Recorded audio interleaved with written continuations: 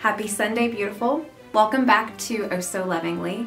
And I have recently renamed this channel The Grand Millennial Guide because I feel like I have such a love and appreciation for everything Grand Millennial and so I just renamed the channel. I hope this is more descriptive too for when people are trying to find me because I am really trying to get monetized.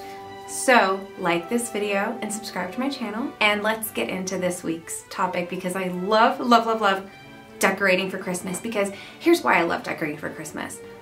It's already kind of a dreary time. It's a drearier time of year already. Like the weather is just like, uh, starting to feel like Scotland. When I was in Scotland, it was just gray and rainy and nothing special, nothing, nothing exciting. So I love making my home really exciting. And so this video is inspired by something I used to do when I was in my apartment, my one bedroom apartment in Atlanta and all I had was a tiny tabletop Christmas tree and that's really all I could do so I want to give you some tips on helping you make a really beautiful mini tabletop Christmas tree. And it's really, really simple. All you need is like, they're, they're about $10, I'm not kidding. One of these, a little tinsel tree. My favorite is the, the miniature tinsel trees because they're so sparkly and they're very minimalist. You can, you can decorate them however you want. And a vase. I'm gonna use that one. So I'm gonna take the hydrangeas out here and start decorating my tree. The other thing you can do with uh, tabletop Christmas trees, you don't have to make it super special and super unique and ornate. You can just get like those um, little straw Christmas trees and put them on your table. You can totally do that, absolutely. But um, if you wanna make more of, a little bit more of an impact in your small space and you want it to really bring you joy, this for me is what does that. So let's get started. What I'm actually gonna do first is combine these beautiful hydrangeas that are lasting forever by the way. And if you wanna know how to keep hydrangeas alive for like up to a month, click on my video how to keep hydrangeas alive. Uh, and this this it works every time. Like this is literally the the second week and I haven't had to do anything to these. Um, but what I'm gonna do with these is consolidate them with some flowers that I grabbed from church. And I have to thank Miss Jane at our church. She's one of the custodial staffers at church. Um, she knows I love flowers and she just told me like, hey, there was a wedding. You need to go get some of those flowers because they're gonna let them dry out. So look at the flowers. Are you ready? Y'all. Ranunculus, roses, and I love this guy at the top. Like, what a beautiful wedding. Oh, it was such a nice bouquet for the wedding. Um, and I just stuck that one going out on the side because it's so quirky and fun. But yeah, I'm just gonna consolidate these all together because, oh my gosh, that wedding, that wedding was beautiful. But they left flowers. They just left a ton of flowers behind. So thank you, Miss Jane, for giving me permission to take some home. I mean, look at all these flowers I've got. Every time I move a hydrangea or add it, add water to it, I have to cut it so there's clean surface area for it to drink up all that water. Look at this beautiful orange ranuncula. I can't with how beautiful that ranuncula is. Look how beautiful this ranuncula is with that deep purple of whatever this is. If anyone knows what it is, please comment and tell me because I love them.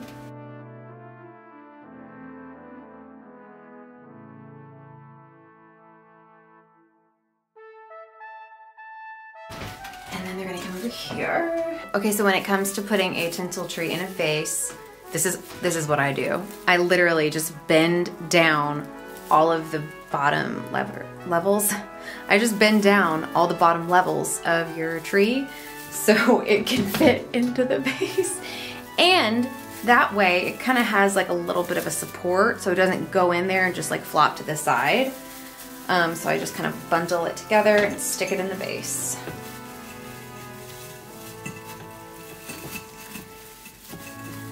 Okay. And there you have it. so that is our tree. We're not done. No, no.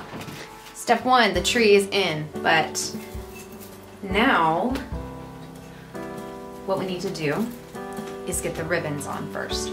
Now, I'm actually going to be doing a craft of this next week, so please stay tuned. I'm gonna do the most fun craft of really big ribbons you can, you can make for your Christmas tree. But what I'm gonna do is just tie bows all around your tree. Please enjoy this time lapse of me putting the bows on my tree.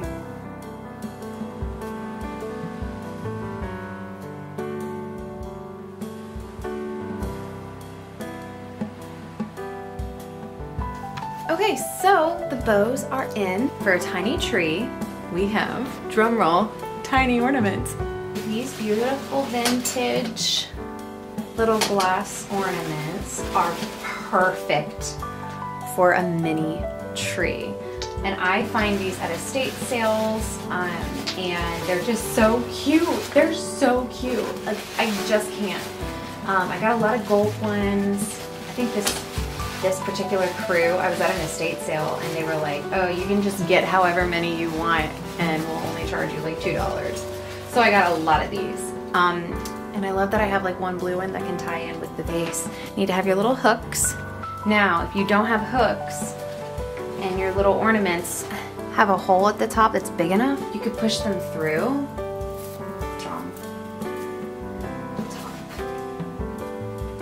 So just put them all around the tree. And with this, I have already decided where the, the front of the tree is gonna be. Uh, I made sure that the bow is pointing in the direction. I'm not just going to be using these little ornaments. Gonna also be mixing in some of my very favorite vintage glass ornaments. And I have a very soft spot in my heart for my mini tree because it was with me in my apartment. So typically for a mini tree, this hook is way too long. I'm just gonna be real with you. So what you wanna do, if, if you want, you could just reshape it to look like that so it hangs a little closer to the branch. Cause like you don't want that.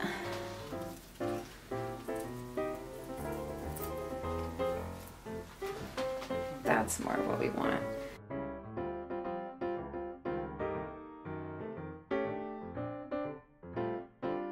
I'm obsessed with vintage Christmas ornaments like y'all don't even know. And again, since we're doing a mini tree, you don't want a long hook. So I'm going to bring closer to the tree branch. There we go. Oh, it's looking so happy and dainty. That's really what I love about a tabletop tree. It's really pretty. Oh my gosh, I love this. Maybe one more. It's really, really so happy. Oh my gosh, I love it. When I do this every year, it makes me so happy. I think that's my favorite thing about it is it's dainty, it's cheerful, it helps brighten up your life when the outside is so dreary. And this is the way I like to do my mini trees, but there are so many different ways you can do your mini tree. You could get a bigger, different colored ribbon and tie it on the branches. Make sure the ribbon though is pushed back on the branches and it's not sitting too forward so your ornaments can shine. But yeah, I just think it's so much fun to have a happy miniature tinsel tree on your tabletop.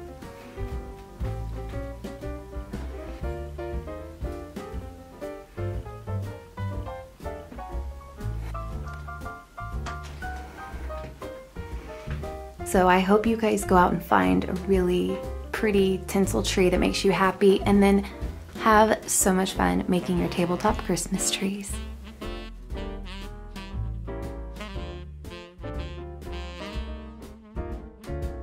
This dress just came in the mail. Look at the bows on the sleeves. From Victoria Dunn. Oh my gosh. This dress, it's absolutely to die for. I literally, I can't picture a better holiday dress. It's so flattering. That's, I mean, it came and it looked like I got a small and it looked like it was gonna be big. No.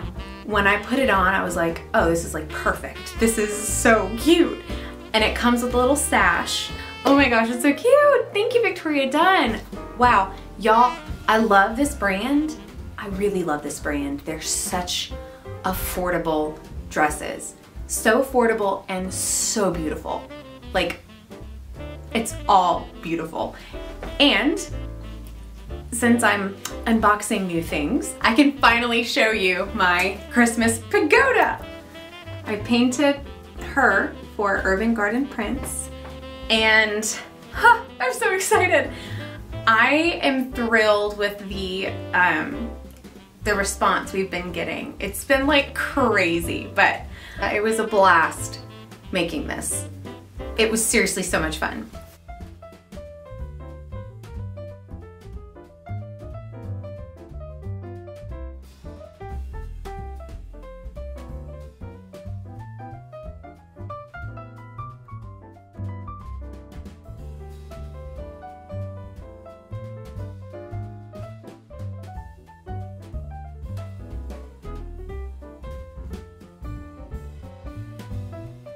Okay, so a really quick uh, sneak peek for next week.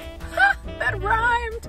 I'm going to run a couple errands to pick up some things for the craft that I'm doing in the next vlog, which y'all are just gonna love.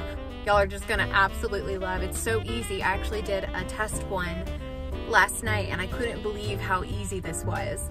So stay tuned for next week. I'm out. I'll give you a hint. I'm getting some fabric glue and hot glue gun uh, glue sticks. And ribbon. That's all the tips you're gonna get. My gosh, I am so chic. Okay. Okay. Did I do that right? Okay. Okay. I don't, I don't know. All right, I'll see you next Sunday. Bye. So I can't exactly play the song I'm dancing to because I don't think I could afford the copyright, but it is definitely Childish Gambino pumping in the background. I hope you guys enjoyed this video. Please like and subscribe to my channel and turn on notifications for me. This is all normal, I promise. I'll see you next Sunday.